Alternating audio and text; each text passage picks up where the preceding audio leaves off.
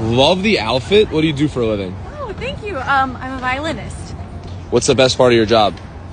That I get to be creative all the time. I get to travel. Okay, what are the odds I could hear something? Now? Yeah, can, can you just play me something? You have a violin on you.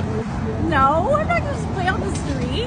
What if like you got on there and I just like got all these people to be au- audience It's members? funny. I play for a living. I perform for a living, and yet this sounds like more terrifying than like playing a big venue. Guys, free violin show in 15 seconds. Will you stick around? Yeah, bro. Is it free? Free, free violin show.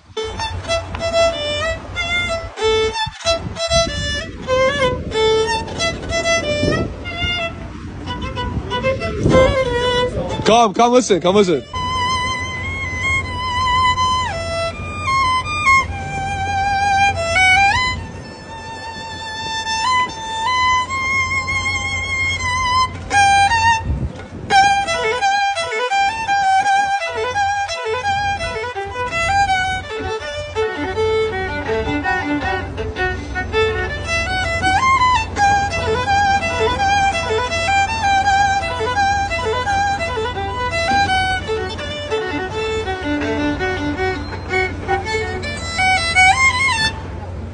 Bravo. Hey, what's your name? David. David. Come here. That here. was great. You live here in the city? Yes, I live on 7th Street. So I'm playing a show at Radio City Music Hall in a few months. I'd love to give you tickets.